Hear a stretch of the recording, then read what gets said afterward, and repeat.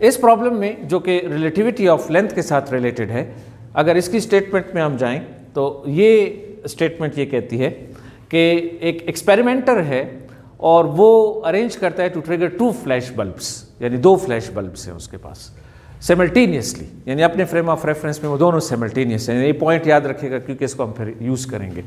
Producing a big flash एक big flash यानी ज़्यादा बड़ा फ्लैश होता है located at the origin of this reference frame and a small flash at x is equal to thirty तो दो flash होते हैं, एक ओरिजिन पे होता है और एक x is equal to thirty kilometre के ऊपर होता है। अब क्वेश्चन क्या है? An observer moving at speed of point two five c एक और ऑब्जर्वर है जो कि इस हाई वेलासिटी के साथ मूव कर रहा है। In the positive direction of x axis और पॉजिटिव एक्स में मूव कर रहे हैं। नेगेटिव में नहीं पॉजिटिव एक्स में मूव कर रहा है। ऑल्सो व्यूज़ दी फ्लैशेस वो भी इन फ्लैशेस को देखता है। तो दो फ्लैशेस हैं। एक स्मॉल है, एक बिग है, एक ओरिजिन पे है, एक x is equal to thirty kilometre पे है और इस फ्रेम ऑफ़ रेफरेंस पे, यानी जो ऑब्जर्वर है that is at rest with respect to this frame of reference लेकिन एक मूविंग ऑब्जर्वर है, जो कि पॉइंट टू फाइव सी के साथ मूव कर रहा है तो वो भी इन फ्लैशेस को देखता है। तो आप देख रहे हैं कि इसमें सेमल्टेनिटी जो है, वो रिलेटिव है तो उसके लिए वो, हो सकता है ये दो ये दो चीज़ें, दो फ्लैशेस सेमल्टेनियस ना हो। और फिर होता क्या है, यानी क्वेश्चन क्या है, इसका? कि what is the time interval between them according to her यानी जो मूविंग ऑब्जर्वर है, वो टाइम इंटरवल को कैसे मेजर करेगा? और which flash does she says occurs first और कौन सा, यानी सेमल्टेनिटी के बारे में क्वेश्चन है कि अगर ये सेमल्टेनियस हैं, पहले तो वो कितना वो मेजर करेगा? और वो सेमल्टेनिटी के बारे में क्या उसकी स्टेटमेंट होगी? तो ये दो क्वेश्चन हैं। तो सबसे पहले हम, अब डाटा में हमें जो चीज़ें गिवन हैं वो ये हैं कि लॉरेंस ट्रांसफॉर्मेशन हम यूज़ करते हैं टाइम के लिए। तो अब चूँकि दो इवेंट्स हो रहे हैं, इसमें दो इवेंट्स हैं। एक बिग फ्लैश है और एक स्मॉल फ्लैश है। तो जो स्मॉल फ्लैश है, उसकी जो टाइम है अगर उसका हम लॉरेंस ट्रांसफॉर्मेशन देखें अगर एक एक्स एक एस प्राइम है, एक फ्रेम ऑफ़ रेफरेंस एस है और एक frame of reference S prime है, जो कि velocity point two five c zero c के साथ मूव कर रहे हैं। तो इस, ये जो टाइम मेजर करेगा, जिस वक्त हुआ है, और इसमें जो टाइम है, उसके दरमियान ये रिलेशनशिप है। T S prime is equal to gamma T S minus beta x S by c तो ये तो स्मॉल के लिए है। इसी तरीके से हम बिग के लिए भी बिग फ्लैश के लिए भी यही इक्वेशन लिखेंगे। यही लॉरेंस ट्रांसफॉर्मेशन टाइम डायलेशन या रिलेटिविटी ऑफ़ टाइम की जो लॉरेंस ट्रांसफॉर्मेशन है, वो हमने लिखी है। सिर्फ़ दोनों के लिए अलहदा लिखी है। स्मॉल के लिए अलहदा लिखी है और बिग के लिए अलहदा लिखी है। ठीक है? अब इसमें एक पॉइंट आप नोट करें कि हमारे पास जो ऑब्जर्वर है, जो कि इसके अंदर है एस है तो वो तो उसके लिए तो ये दोनों सेमल्टेनियस है ना, क्योंकि उसने स्टेटमेंट में कहा है।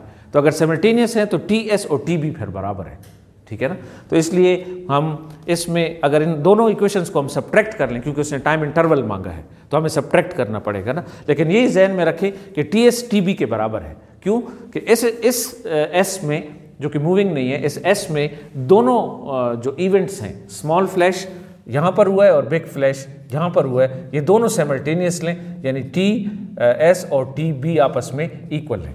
तो इसलिए जब हम इसको सब्ट्रैक्ट करेंगे तो ये आपस में कैंसिल आउट हो जाएँगे। तो जब कैंसिल होंगे और बाकी जो हमारे पास रह जाएगा तो गामा तो रह जाएगा और बीटा और small minus x small x divided by c आ जाएगा। ठीक है?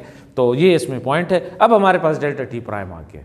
अब चूँकि इसने हमें एक्स एस और एक्स बी दोनों गिवन है, एक ओरिजिन पे है और एक थर्टी किलोमीटर पे है वो हमें गिवन है सी हमें पता है और गामा और बीटा जो है, वो हम निकाल के इसमें पुट कर सकते हैं। तो सबसे पहले फिर हमें गामा और बीटा कैलकुलेट करना पड़ेगा ना क्यों तो गामा और बीटा को हम कैलकुलेट करते हैं। तो पहले बीटा कैलकुलेट करते हैं बीटा हमें पता है वी बाई सी के बराबर है। अगर इसमें हम वैल्यू सब्सिट्यूट करें तो चूँकि वी गिवन है point two five zero c और सी तो डिवाइड हो जाएगा तो बीटा हमारे पास, क्योंकि ये डायमेंशन लेस पैरामीटर है स्पीड पैरामीटर है तो ये पॉइंट टू फाइव के बराबर आता है ज़ीरो के बराबर आता है। तो बीटा हमने कैलकुलेट कर लिया। जब हमें बीटा का पता हो तो फिर गामा तो हम मालूम कर ही सकते हैं। तो हम इसे लॉरेंस फैक्टर अभी कैलकुलेट कर लेते हैं। तो लॉरेंस फैक्टर जैसे आपको पता है कि वो इसके बराबर है, और अगर इसके अंदर हम वैल्यूज़ पुट करें तो वो हमारे पास लॉरेंस फैक्टर भी आ गया। ठीक है? तो इस तरह जब बीटा और गामा दोनों मालूम हो गए तो जो अब इक्वेशन है हमारे पास डेल्टा टी प्राइम की, जो हमने ऑलरेडी इंटरवल निकाल लिया था, वो ये वाला तो अब इसमें अब वैल्यू सब्सिट्यूट करनी है। अगर इसमें हम वैल्यू सब्सिट्यूट करें तो ये गामा की वैल्यू बीटा की वैल्यू और एक तो ऑरिजन पे है बिग तो ऑरिजन पे है और x तो माइनस कर लें thirty into tens power three metres में कन्वर्ट कर दिया।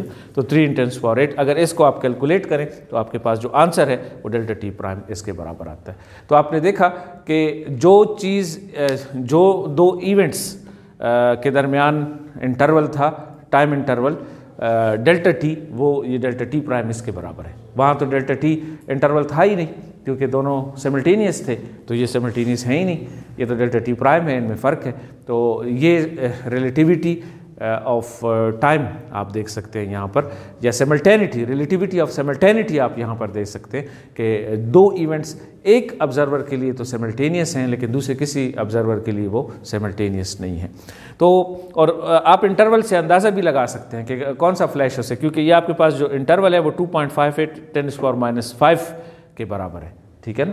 तो उसकी रिलेटिविटी जो है, यानी जो टाइम इंटरवल है, वो कितना स्मॉल हो जाता है। ठीक है ना? उन लेकिन स्टिल वो डिफरेंस है। यानी उनके वो सिमल्टेनियस नहीं है आपस में। दोनों इवेंट्स जो हैं, वो सिमल्टेनियस नहीं है। ठीक? है थैंक यू